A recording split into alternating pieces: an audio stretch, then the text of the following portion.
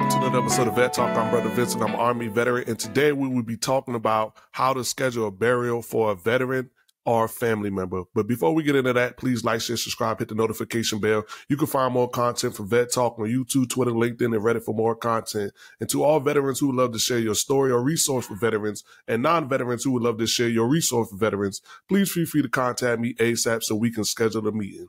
Now that we got that out the way, let's get into this topic. So again, today we're talking about how to schedule a burial for a veteran or family member. As you can see right here on my screen, this is the actual official website for va.gov. And I'm going to put this in the description as always so that you can get this impertinent information. There may be something I may miss out on. There may be something that I may not say, or there may be something else that you're looking for. So I really want to make sure that I put this in the description box so that you can get all this important information. So what I want you to understand is that honoring the service of a veteran or family member with a proper burial is an important way to show respect and gratitude for their service. If you're in the process of planning a burial for a veteran, spouse, or dependent family member, it can be helpful to know what steps to take and what to expect. If you have a pre-need decision letter that confirms eligibility, schedule a burial is relatively straightforward you or your funeral director can contact or call the National Cemetery Scheduling Office at 800 535 1117. Again, that office number is 800 535 1117. Or you can also dial 711 to request a burial keep in mind that the pre-need decision letter does not reserve a specific cemetery or gravesite, so eligibility may need to be reviewed again at the time of death.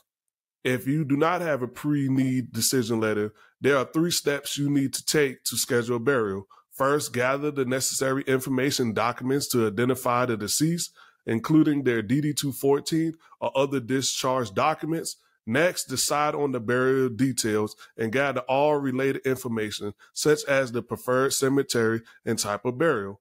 Finally, contact the National Cemetery Scheduling Office to confirm their burial application. National cemeteries are open for burial Monday through Friday, and available burial times can be obtained by calling the National Cemetery Scheduling Office. In some cases, it may be necessary to contact a national cemetery directly for specific information or to request relocation. If you are the spouse of a designated family member, of a veteran, you may be eligible for financial assistance with burial and funeral costs.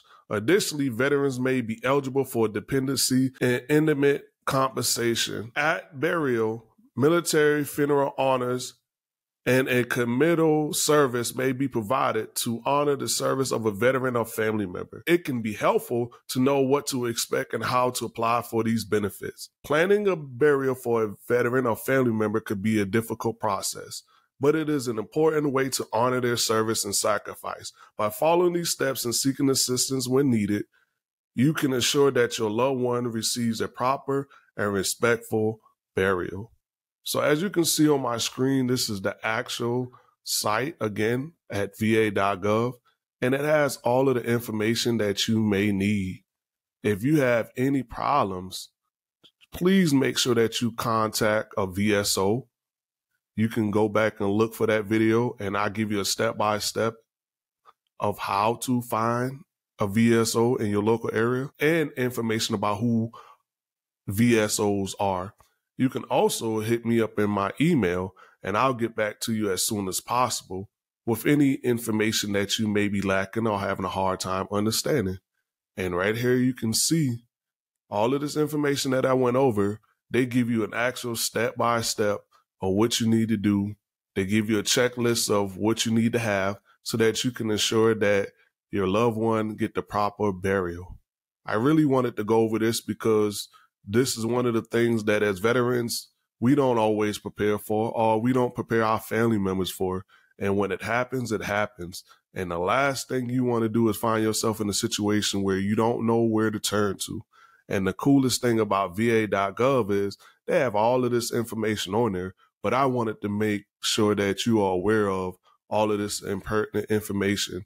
And they break down everything detail for detail and they go in depth about it. One of the coolest things I found out is they had information for those who wanted to be buried at sea. I think that's very cool because I know there's a lot of Navy personnel or maybe just anybody who want to be buried at sea. They have a program for that. And then also they have help with burial costs. I think this is very important because a lot of times people aren't prepared to bury their loved ones and they are in situations where they need help with applying or finding financial compensation to help them with their burial of a loved one. So all of this information is on here. Again, I'm going to put this stuff in the description so that you can have this information.